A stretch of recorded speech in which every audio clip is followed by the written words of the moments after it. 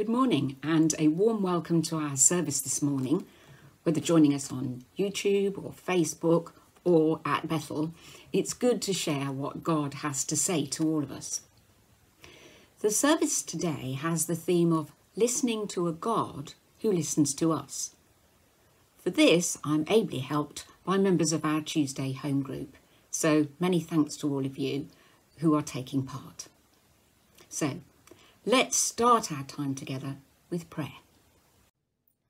Dear Lord, we gather here together, your flock, your sheep, your people. You are our shepherd, and we are gathering into your presence today to worship you in spirit and in truth. We gather here together, though we may not be physically together, we are gathered together in spirit and in truth, for we are one in Christ Jesus. So speak to us, Lord, and let us listen and hear your word.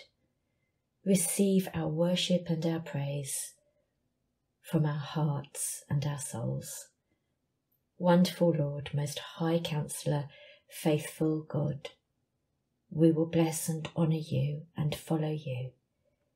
And we ask that you would be with us now by the power of your Spirit. Amen.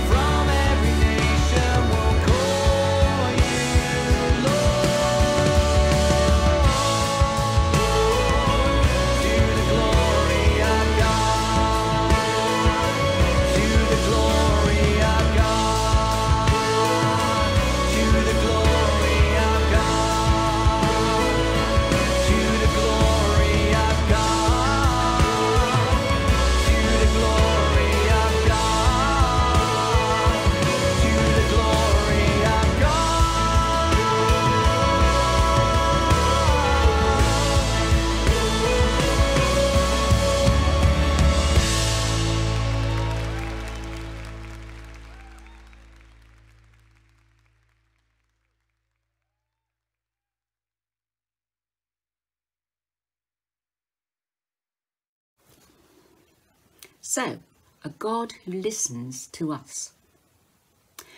One of the many aspects of my faith is that I know that I worship an amazing God, an omnipresent God, a God who is there all the time.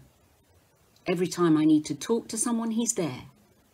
If I need to download, unburden, cry out, ask a question, share a time of sadness or of joy, he's there and he will hear and will listen to what I have to say.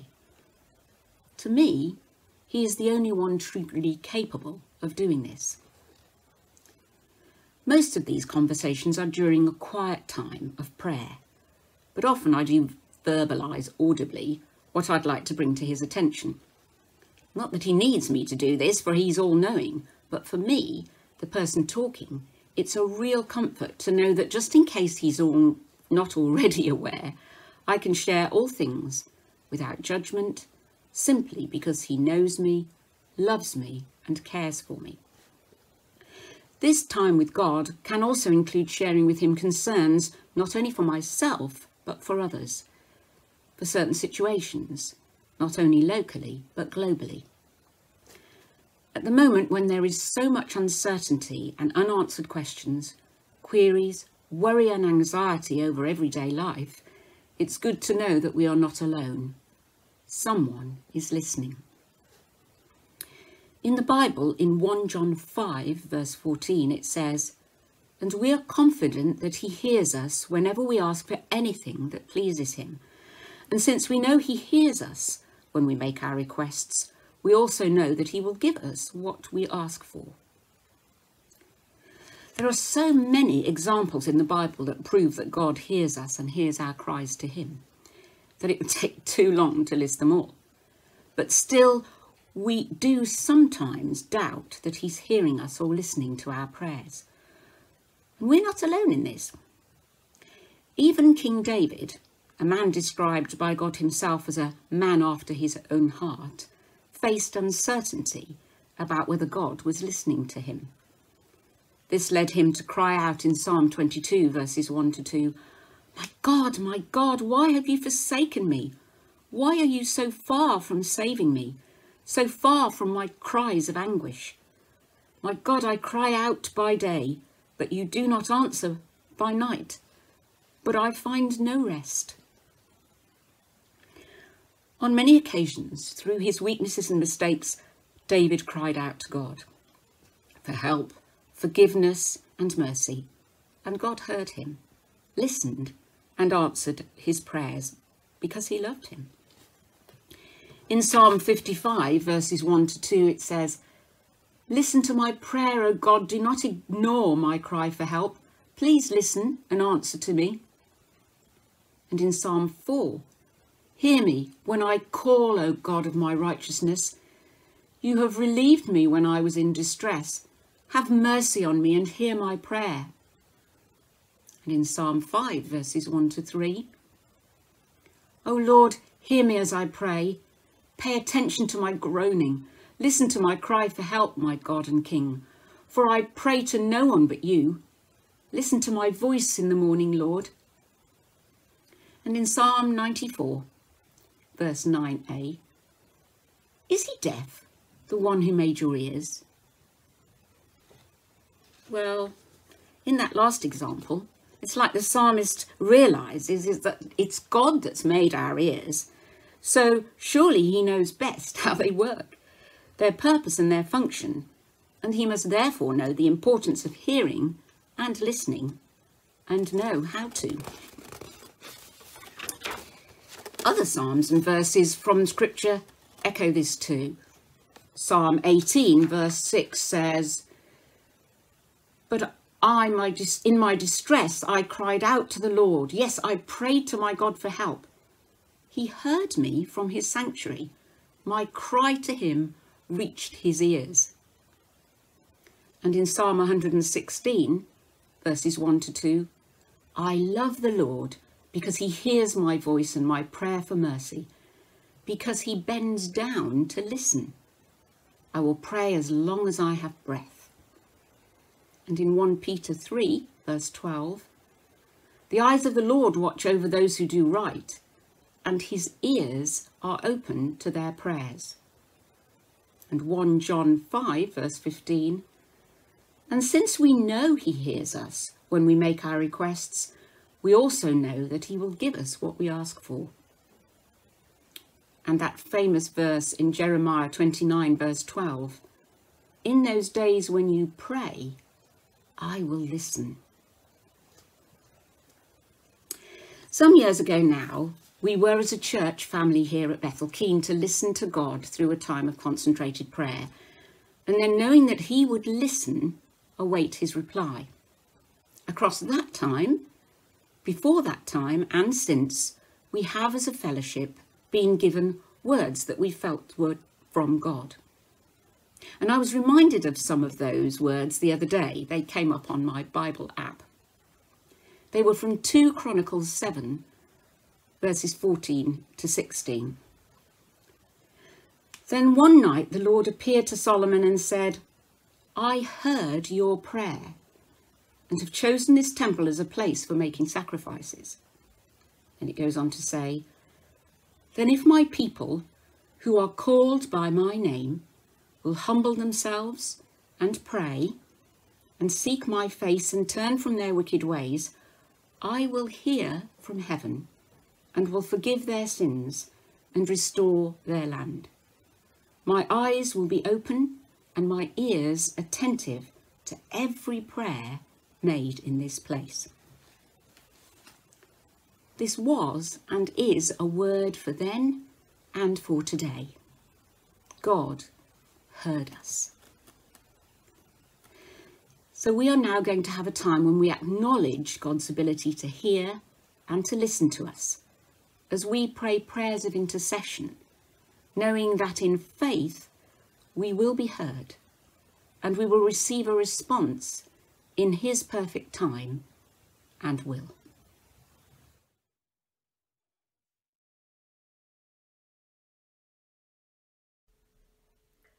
Let us pray.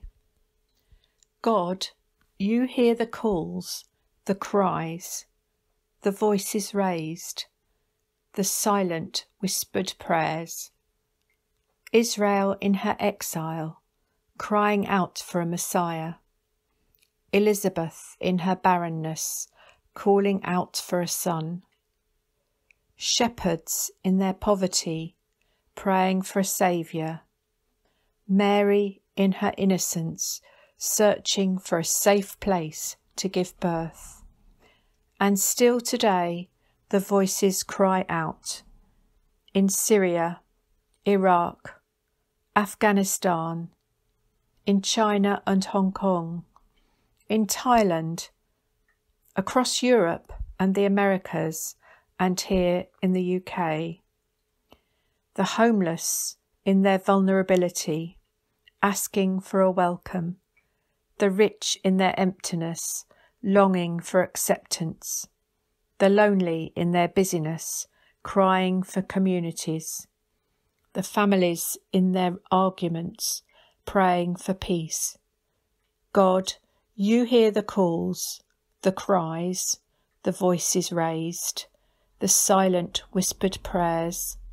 Hear our prayers today and help us where we can to be the answer to someone else's prayer. In Jesus' name, Amen. Father God, we pray for the restoration of our broken world. Please give us the will and discipline to continually seek your word, to renew our minds. We ask that through your power we might be your hands and feet on this earth. We pray for peace in times of trouble.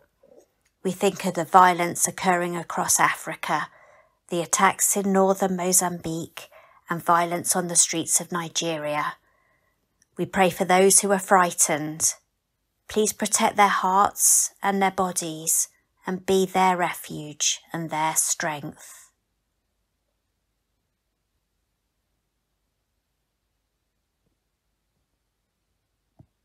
We pray for the upcoming US presidential elections. We pray the candidates will follow your example, Lord, and conduct themselves with wisdom and grace.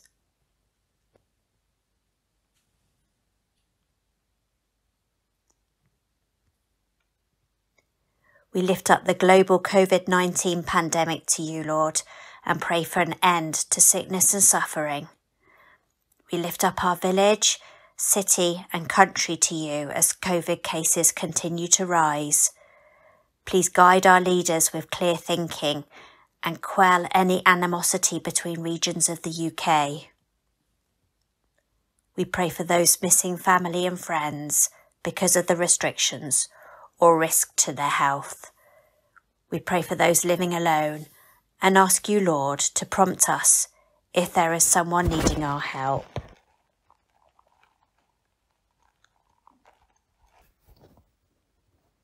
We pray for our schools, for both staff and students, that they might be protected from the virus and can remain safely open this winter.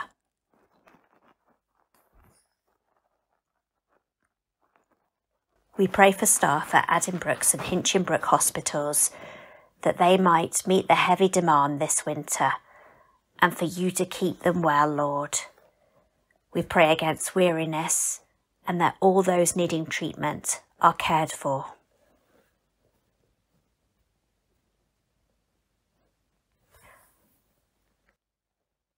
Lastly, we lift up our church over the coming months.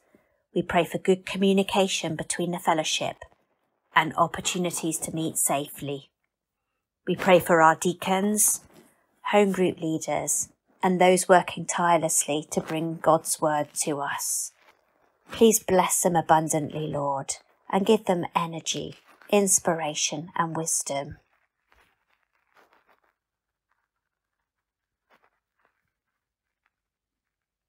Above all, we pray for kindness to prevail throughout the fellowship and in our communities. We ask this in your holy name. Amen.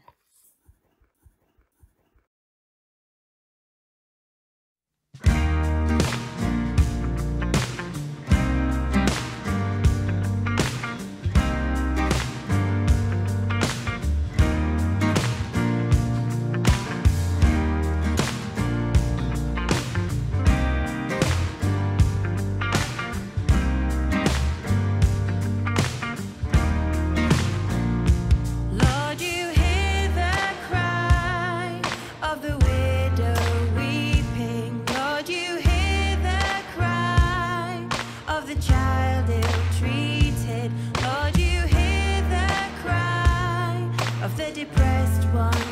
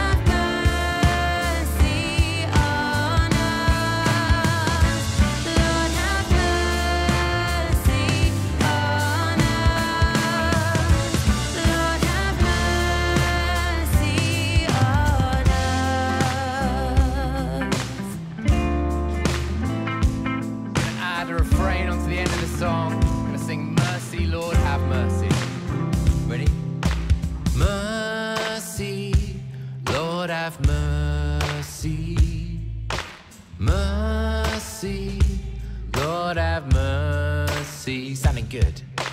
Mercy, Lord have mercy. Mercy, Lord have mercy. Just the voices this time. Mercy, Lord have mercy. Mercy from our heart.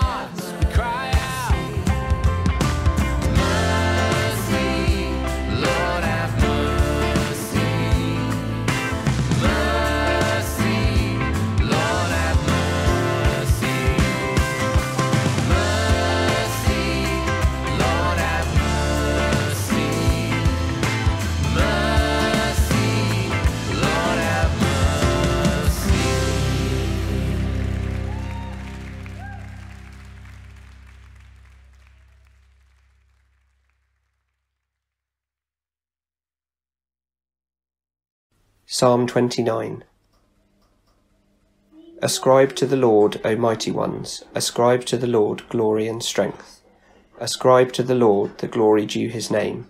Worship the Lord in the splendour of his holiness. The voice of the Lord is over the waters. The God of glory thunders. The Lord thunders over the mighty waters. The voice of the Lord is powerful. The voice of the Lord is majestic. The voice of the Lord breaks the cedars. The Lord breaks in pieces the cedars of Lebanon. He makes Lebanon skip like a calf, Sirion like a young wild ox. The voice of the Lord strikes with flashes of lightning. The voice of the Lord shakes the desert. The Lord shakes the desert of Kadesh. The voice of the Lord twists the oaks and strips the forests bare, and in his temple all cry glory. The Lord sits enthroned over the flood. The Lord is enthroned as king forever. The Lord gives strength to his people. The Lord blesses his people with peace.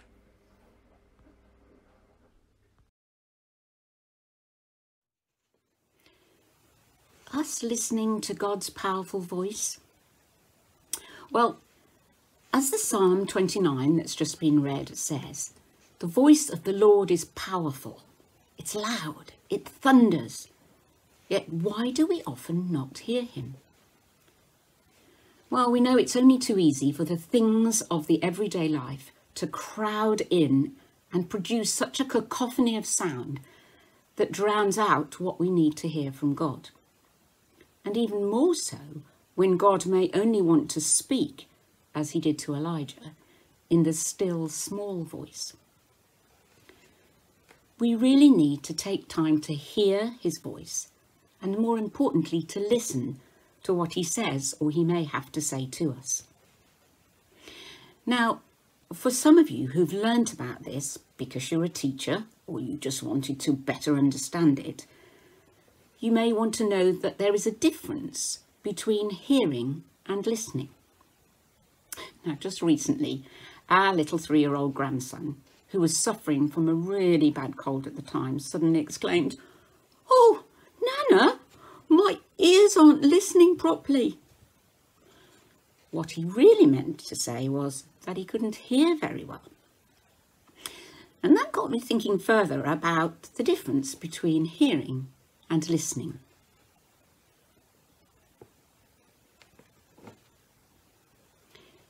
The chart shows the differences.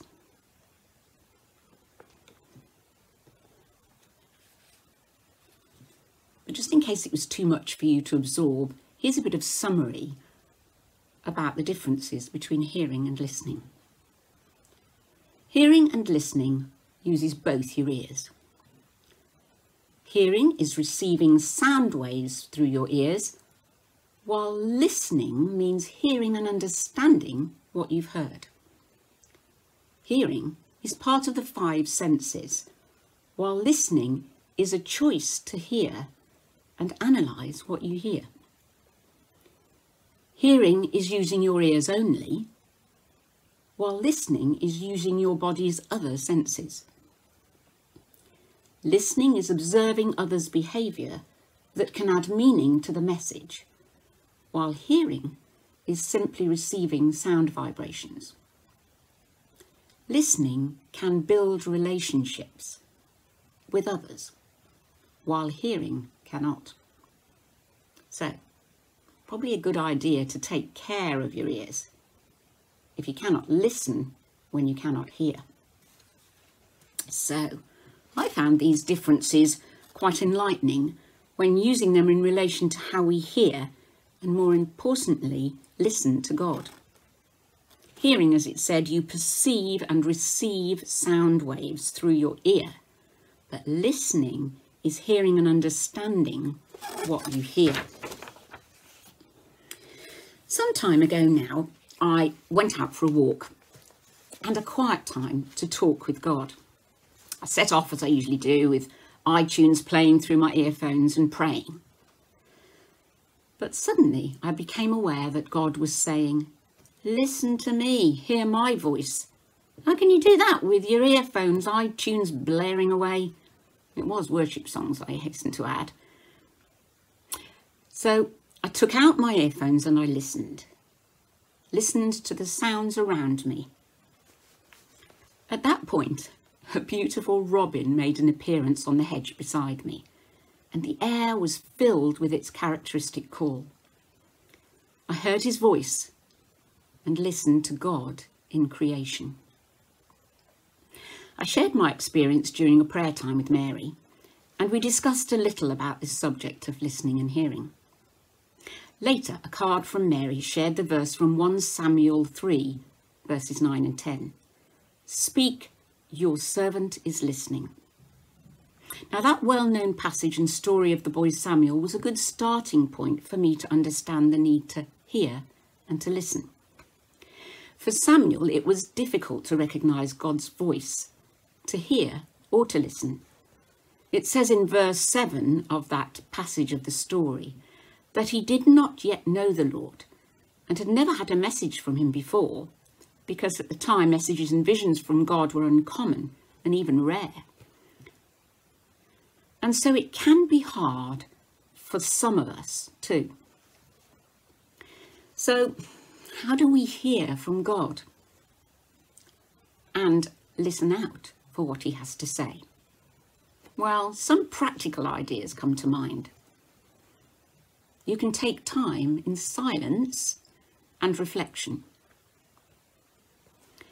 You can hear God through studying His Word. Maybe a particular Bible verse will jump out at you and you'll think, ah, oh, was that from God?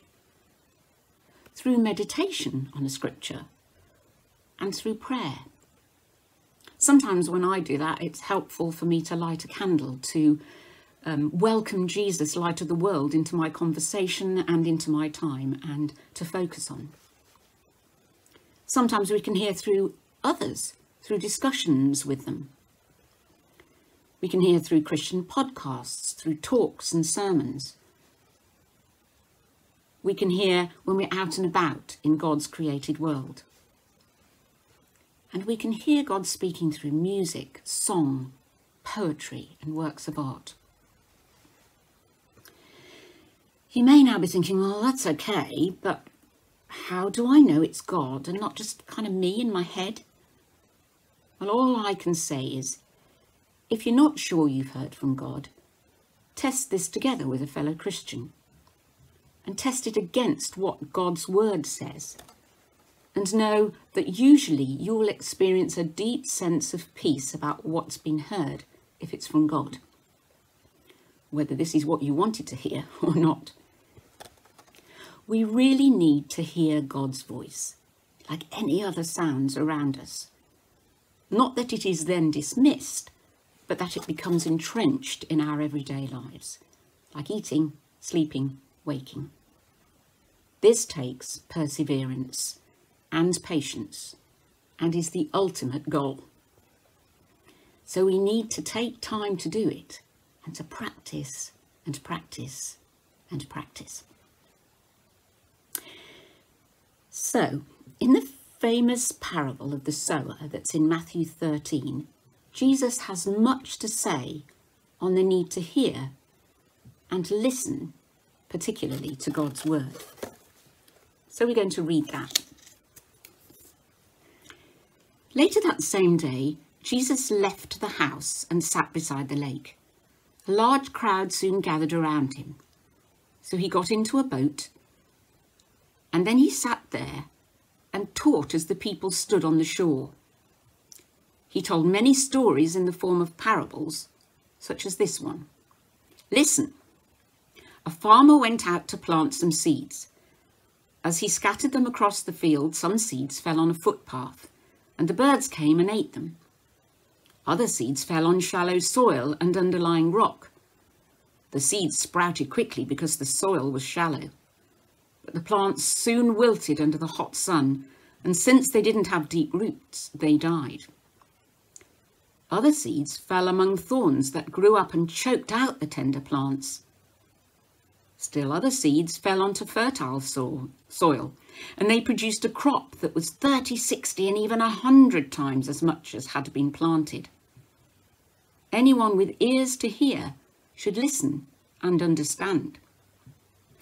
His disciples came and asked him, Why do you use parables when you talk to the people? He replied, You are permitted to understand the secrets of the kingdom of heaven, but others are not. To those who listen to my teaching, more understanding will be given, and they will have an abundance of knowledge. But for those who are not listening, even what little understanding they have will be taken away from them. This is why I use these parables. For they look, but they don't really see. They hear, but they don't really listen or understand. This fulfills the prophecy of Isaiah that says, When you hear what I say, you will not understand. When you see what I do, you will not comprehend. For the hearts of these people are hardened, and their ears cannot hear. And they have closed their eyes, and their eyes cannot see, and their ears cannot hear, and their hearts cannot understand, and they cannot turn to me and let me heal them. But blessed are your eyes, because they see, and your ears, because they hear. I tell you the truth. Many prophets and righteous people long to see what you see, but they didn't see it, and they long to hear what you hear, but they didn't hear it. Now listen to the explanation of the parable about the farmer planting seeds. The seeds that fell on the footpath represents those who hear the message about God's kingdom and don't understand it. Then the evil one comes and snatches away the seed that was planted in their hearts. The seed on the rocky soil represents those who hear the message and immediately receive it with joy, but since they don't have deep roots, they don't last long. They fall away as soon as they have problems or are persecuted for believing God's word. The seed that fell among the thorns represents those who hear God's word, but all too quickly the message is crowded out by the worries of this life and the lure of wealth, so no fruit is produced.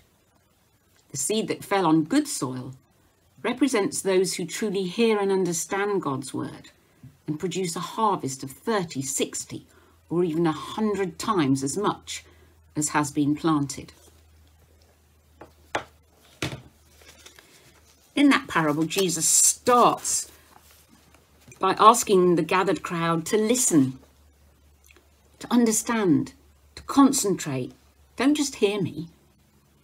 He then goes on to explain the parable after he's delivered it, again saying, Listen.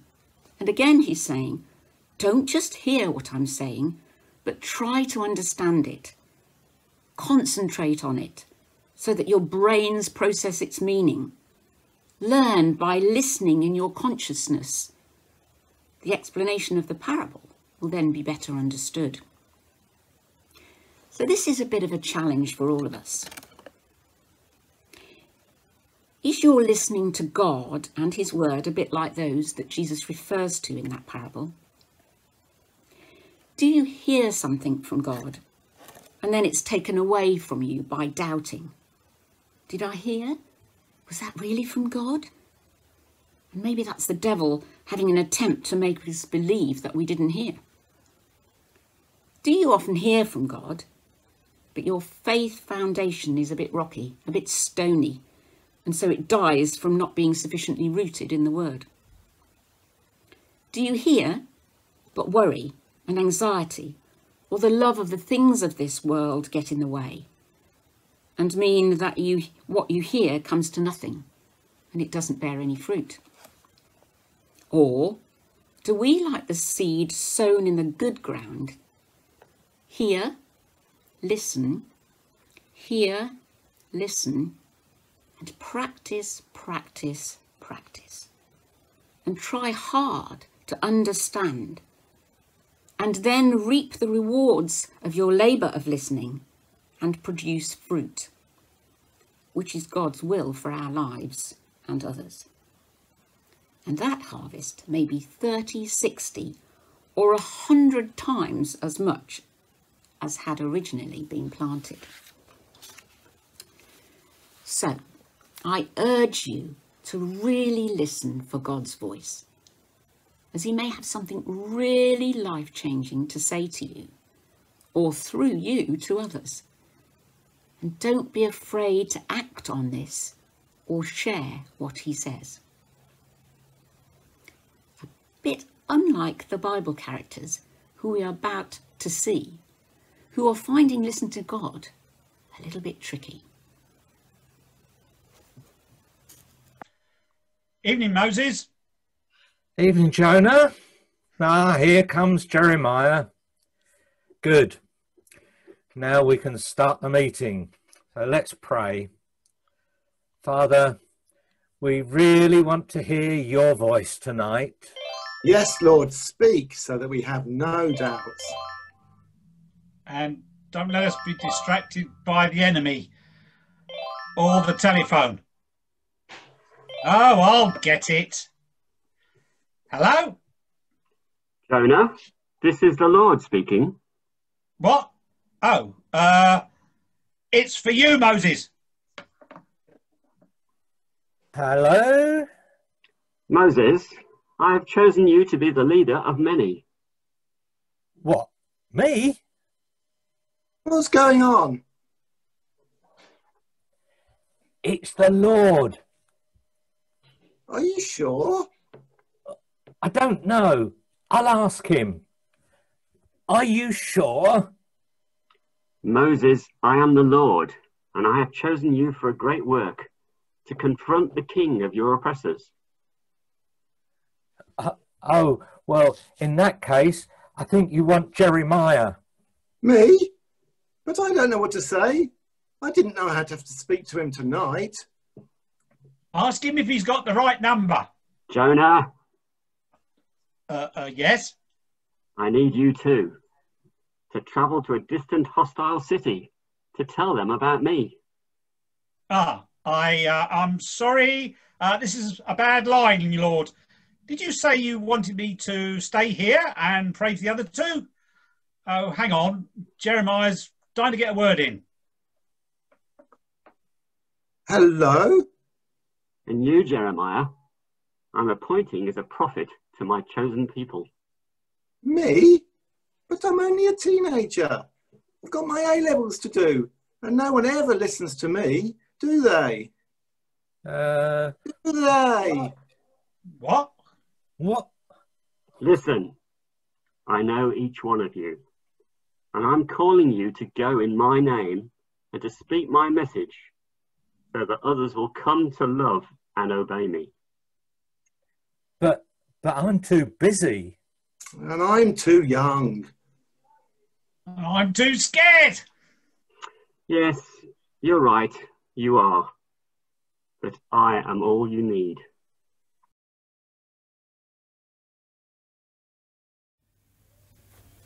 We take time now to reflect on what we've heard so that we can listen and understand what God wants to say. The song that will be played live at Bethel will, for those watching at home, come on the screen as words for you to read.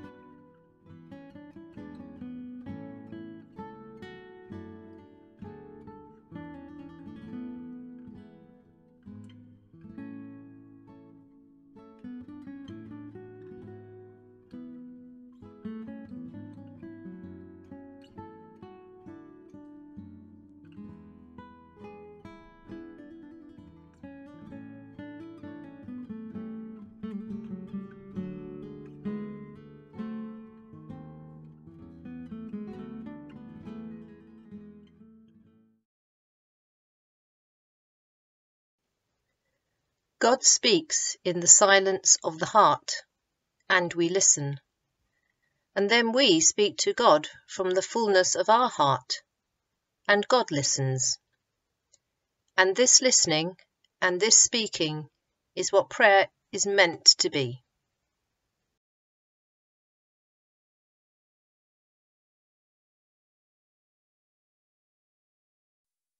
Well, hello, and thank you for joining us for our Sunday morning service here at Bethel Baptist Church in Swavesey. Here are the notices for this coming week. The diaconate have been looking at the various prayer sessions that are available, and we have uh, decided to make one or two changes to what we have become used to. Now, as far as the private prayer sessions at the church are concerned, it was felt that in view of the numbers that come along each week and the fact that we've reset our clocks to Greenwich Mean Time, which means that the evenings get darker earlier, uh, we have concluded that we will suspend the Sunday evening private prayer session so there will be no private prayer session this evening. However, the Sunday sanctuary service will continue to be held on the third Sunday each month. We've also been considering how the Sunday morning prayer session on Zoom fits in with the church being open on a Sunday morning at 10:45 and we have concluded that it would be helpful to those that do attend the prayer meeting on Zoom if we could bring that meeting forward to 9.30 until 10 o'clock, thus giving people that come to the Zoom prayer meeting time to uh, travel to church if they have got their ticket. So in future, the Sunday morning prayer session on Zoom will be at 9.30, not 10 o'clock.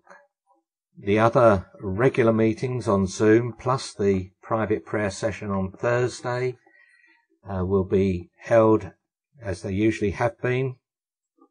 And next Sunday, the recorded service uh, will be shown at the church at 10.45. Uh, you will need to book a ticket for that.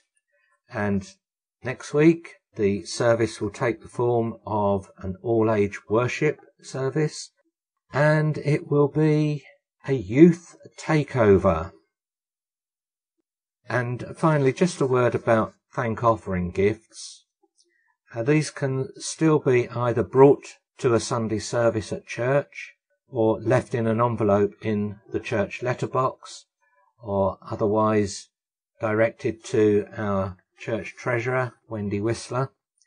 And although we initially said that we would appreciate gifts arriving by today, the 25th of October, uh, we have now reviewed that timescale and have extended the period through to the end of November. So don't feel that you've missed out on on uh, bringing your thank offering gift along or getting it to Wendy as I say, we're quite happy to receive your your gifts right through until the end of November. I think they're all the notices I have for today. So as we move into this coming week, may you know the Lord's presence with you, guiding ev- you every step of the way. May you know his wisdom in all that you do. May you know his peace ruling in your heart, and may your mind be stayed on Him and enjoy that perfect peace that comes from fixing our heart and mind on the Lord. Thank you.